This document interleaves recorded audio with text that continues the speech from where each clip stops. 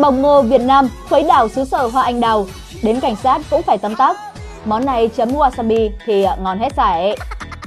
Nối tiếp những thành công vang dội của nước mía tại xứ sở kim chi hay bún đậu trên đất Mỹ thì có lẽ bỏng ngô tự nổ sẽ chuẩn bị trở thành món ăn mới nổi tại đất nước mặt trời mọc. Theo đó, một nhóm các bạn du học sinh Việt Nam đã mang một chiếc máy nổ bỏng trong hành lý sang nước bạn. Chiều chiều, mấy đứa bằng nhau, người góp gạo, kẻ mang ngô, đứa đổ thêm đường để cùng nhau ôn lại tuổi thơ. Ai dè tiếng nổ to quá, cứ sành sạch sành sạch vang vọng cả vùng, khiến nhiều cụ ông khó tính, cụ bà khó chịu, không nén nổi tò mò mà phải chạy ra xem mấy đứa nhóc này làm gì.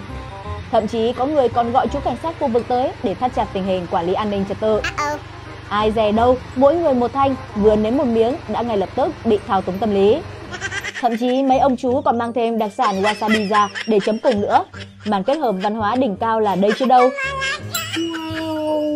Chồng chú cảnh sát vừa ăn vừa gần gù thế kia thì uh, dự là tầm này có lên phường chắc cũng chỉ đảm đạo về ẩm thực Việt Nam mà thôi. Cảm ơn các bạn đã theo dõi 8 TV, đồng hành cùng kênh để cập nhật những tin tức thú vị bạn nhé.